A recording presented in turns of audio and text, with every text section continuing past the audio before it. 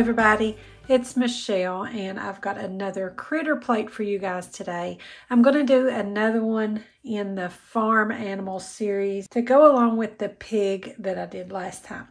So the next critter that I thought of was a duck. So we're using yellow plates. And these are the light yellow that I got from Dollar Tree. You can use any yellow paper plates that you want. I'm going to set those aside for now because I've got some other things I need to do first. So to help create my duck, you can do this part or not. It's completely optional. But I got some of these clapper toys and I like to include some sort of treat or party favor or something like that when I'm doing child friendly party decor ideas. So I got these clappers and as you can see they come in many different colors. So what I did was I took these apart and I got a top one that was yellow, a middle that was yellow, and the bottom that was yellow and I put those all back together to create a solid yellow hand clapper. And that's a cute little toy for the kids and a party favor for them to go along with their place setting. And I'm just going to put it behind my duck's head to be that little sort of hairdo at the top. So we'll do that in just a minute as well.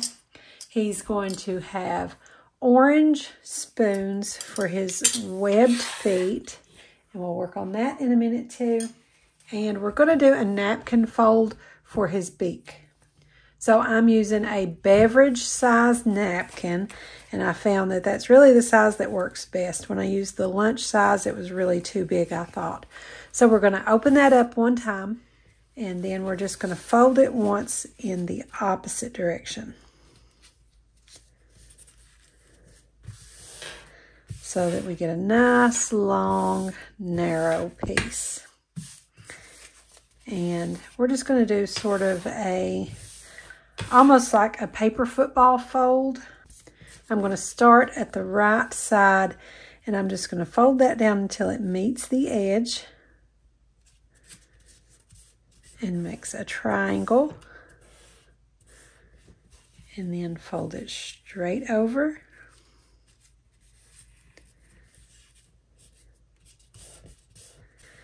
and along that next edge and I'm just continuing to fold along each previous fold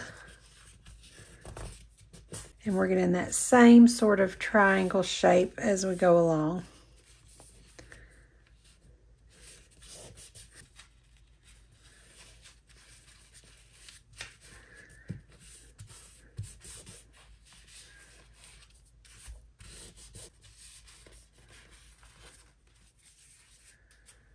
I'm just going to tuck that one behind.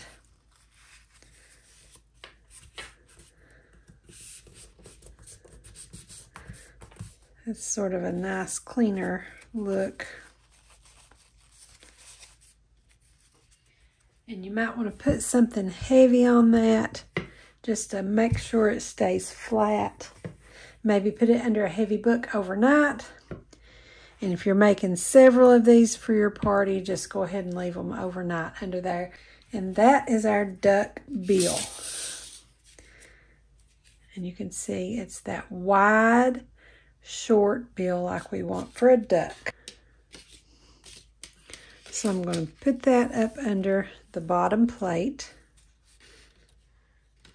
Put the top plate on so that that just peeks out. then I'm just going to flip the spoons upside down and tuck those up under for his little webbed feet. And then for his eyes, again, you can use those candy eyeballs if you want to, but they were a little light when I already had the light colored plates. And I wanted his eyes to stand out a little more, so I'm using Junior Mints. So there's the ducky in our critter plate series for farm animals and I think he's so cute. Again, you don't have to use the little clapper toy up here. I just think that's a nice little added touch. I bought those actually when I had a different one in mind that you'll see a little later on. So since I had those, I went ahead and decided to add that to my little ducky as well.